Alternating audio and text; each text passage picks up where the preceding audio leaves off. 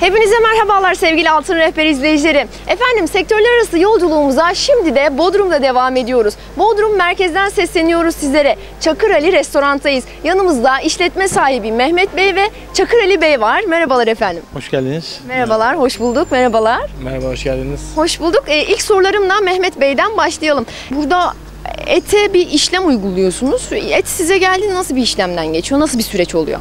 Biz eti kendimiz alırız. Benim 32 yıllık ustam var.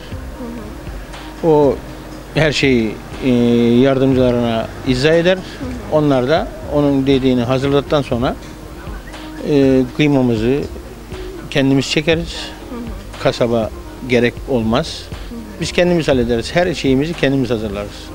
Peki efendim diyelim ki ben bir müşteri olarak buraya geldim. Ee, döner yiyorum veya farklı bir et ürünü yiyorum. Önüme gelen e, etin kaliteli ve taze olduğunu nasıl anlarım? Et e, et bildiğiniz gibi işte buralarda e, mera fazla olmadığı için bize et ekser dışarıdan gelir. Bu mumcular var bizim.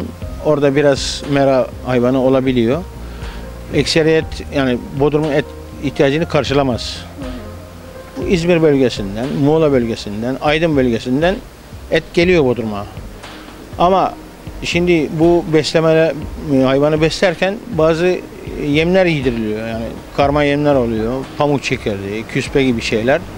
Bunlar etin kalitesini düşürüyor. Bir mera e, mera hayvanının etiyle bir besi besi yani beslenen bir ahırda beslenen bir hayvanın etinin arasında fark vardır. Kesinlikle fark vardır. E, buraları tabi burada hayvancılık yok.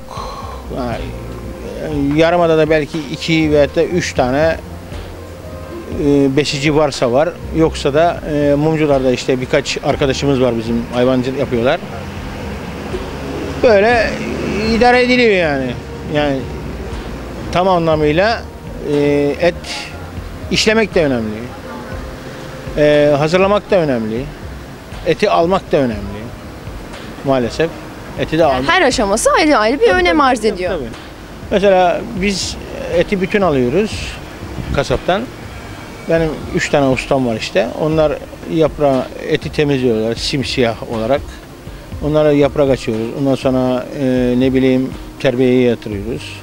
Bir 12-13 saat terbiyede kalması gerekiyor. Ondan sonra da sabah 10.30'da hazırlanıp milletin ağız tadıyla yemesi için servise sunuyoruz. Hepsi bu. E, Efendim size şeyi sorayım bir de. E, lokasyon olarak pazar alanına çok yakınsınız. Bunun işletmenize olan etkilerini sorayım. Bir de e, Çakır Ali Restoran hakkında biraz daha bize detaylı bilgi verebilir misiniz? Ne zamandır hizmet veriyorsunuz? Burada ne gibi e, hizmetler alabiliriz?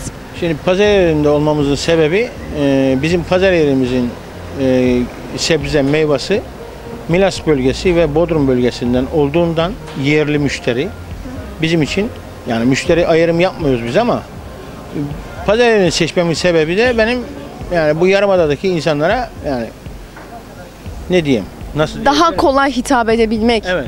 Hem tanıdığımızdan çünkü bu işi biz ben 1974 yılında okuldan ilkokuldan mezun olduktan sonra bu işteyim. Sadece iki yıl bir askerliğim var. O, o zaman ayrıldım. Başka da hiç ayrılmadım. Daha hala da devam ediyorum. İşte de- dediğim gibi 12 11 yıl oldu emekli olalı. Ama hala da çalışıyoruz. Ki ben devretmeye çalışıyorum. İnşallah benim gibi sürdürür diye düşünüyorum. İnşallah efendim. Son olarak şunu sorayım size. Neden izleyicilerimizin yolu Bodrum merkeze düştüğü zaman Çakır Ali, Çakır Ali Restoran'ı tercih etsinler? Sizi farklı kılan nedir? Ben e, dürüst çalıştığımıza inanıyorum.